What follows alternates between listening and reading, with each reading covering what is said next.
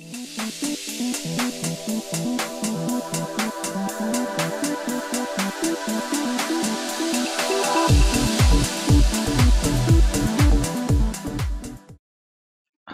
uh, this is Murli from HCL Notes Client Technical Support Team.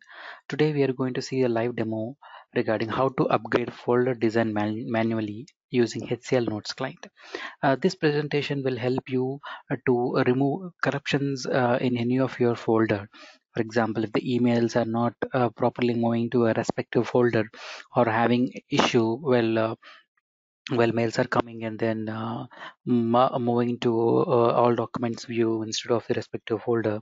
Uh, this upgrading folder design will help you to remove the corruptions and then it will help you to uh, work it normally.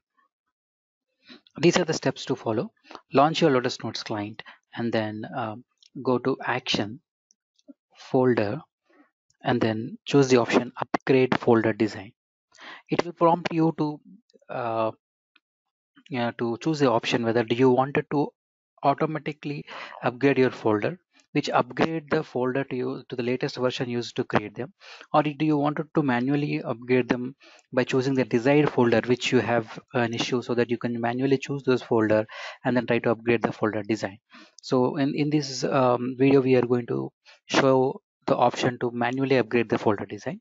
So you have to choose the manual upgrade and then you can select the respective folder uh, and then the, the desired uh, template which is uh, folder design template which is used will be dollar inbox. So you can select the respective folder which is having an issue and then you can just click uh, you can you can select those folders or you can click select all and then click ok. As soon as you click ok the folder upgrade design will get started.